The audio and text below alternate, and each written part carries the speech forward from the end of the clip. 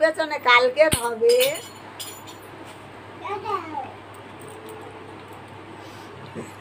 কালকে কাঁদে করে তো আমরা চলে এসেছি একটা নতুন রেসিপি নিয়ে সেটা হচ্ছে। একটা।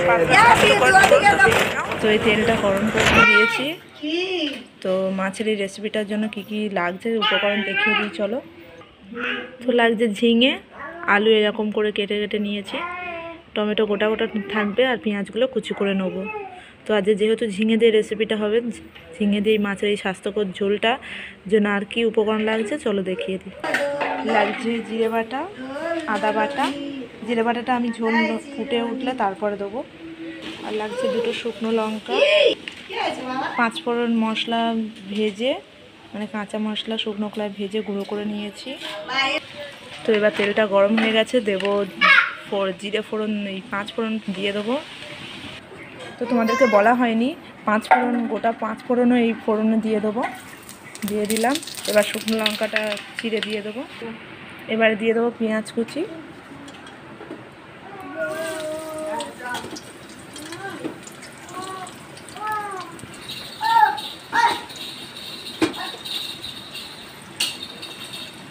দিয়ে এবারে ভেজে নেব। বলো।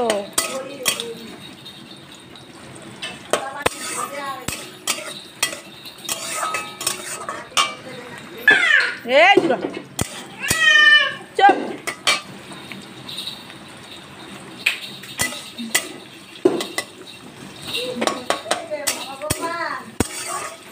তোমাদের ওখানে একটা জিনিস দেখাই চলো।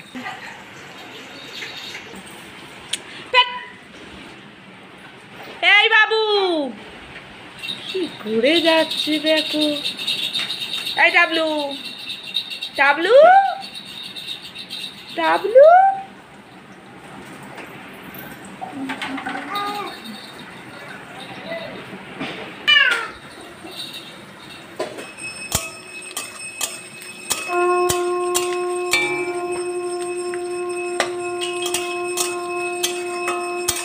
তো পেঁয়াজটা ভাজা ভাজা হয়ে এসছে, এবারে আমি আদা বাটাটা দিয়ে দেবো।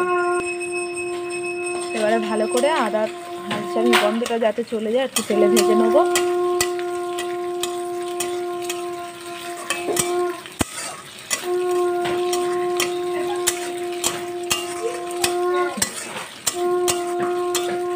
তো আদাটা আমার ভাজা ভাজা হয়ে গেছে।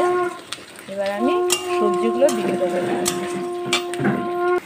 তো এবার ভালো করে নেড়ে নেব। এত ঝিঙে দেখতে লাগবে কিন্তু ঝিঙেটা আবার পরে জল বেরিয়ে গেলে কিচ্ছু থাকবে না, একদম অল্প হয়ে যাবে। এখন এত গরমে এরকম ঝিঙেদের হালকা ঝাল দিয়ে স্বাস্থ্যকর ঝোল তো খুবই ভালো, আমাদের শরীরের পক্ষে।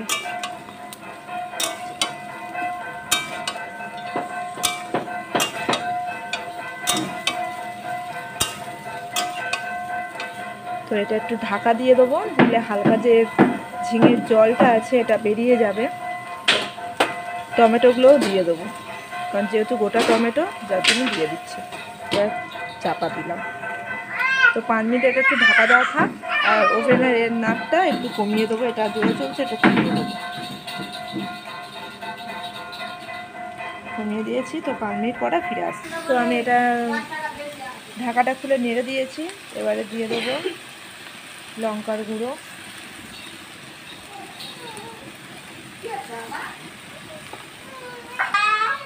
দেড় চামচের মতো গুঁড়ো লঙ্কা দিয়েছি, এবারে দিয়ে দেবো হলুদ গুঁড়ো।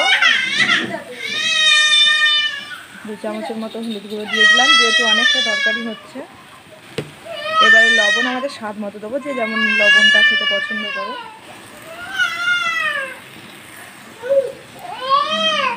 ওয়াও তো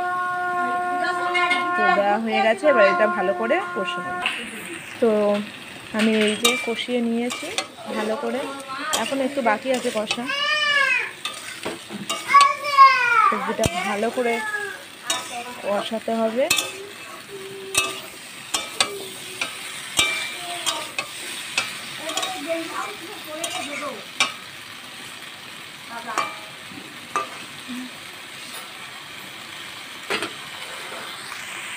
তো এটা আর একটু হতে থাক। তো এবার কষানো হয়ে গেছে, এবার আমি জল দিয়ে দিচ্ছি।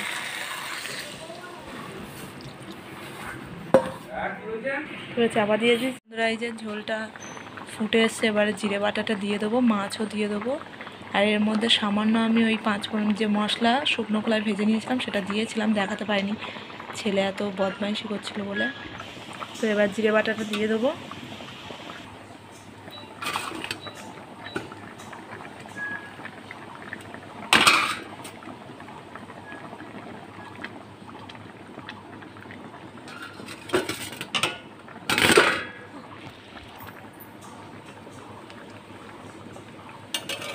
এদিকে তো আরও দশ দশ মিনিটের মতো ফুটিয়ে নেব। তারপর রেডি হয়ে যাবে মাছের ঝোলটা।